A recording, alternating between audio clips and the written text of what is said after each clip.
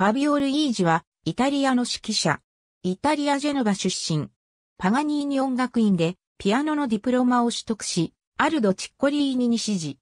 グラーツ音楽院で、ミラン・ホルバートに指示し、1983年、同音楽院を卒業。1984年より、グラーツ歌劇場で活動を始める。1990年には、グラーツ交響楽団を創設し、1995年まで芸術監督を務めた。西ドイツ及びオーストリアの歌劇場を転々としながら経歴を重ねてきた。1996年から2007年までライプツィヒ放送交響楽団芸術監督。1997年から2002年までスイスロマンド管弦楽団の首席指揮者。2005年から2013年までウィーン交響楽団の首席指揮者を務めた。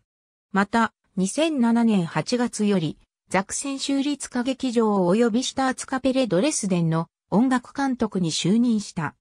しかし、シュターツカペレドレスデンにおいては、2010年のジルベスターコンサートの指揮者をクリスティアン・ティーレマンとすることが音楽監督たる自身の預かり知らぬところで決定されたと主張し、人気満了を待たずして一方的に契約を破棄している。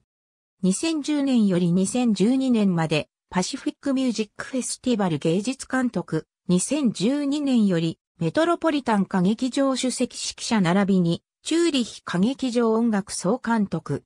2013年にはメトロポリタン歌劇場とのリヒャルト・ワーグナーの連作オペラニーベルングの指輪の録音によりグラミー賞を受賞。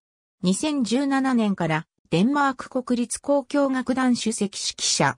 2022年9月、NHK 交響楽団の主席指揮者に就任予定。ありがとうございます。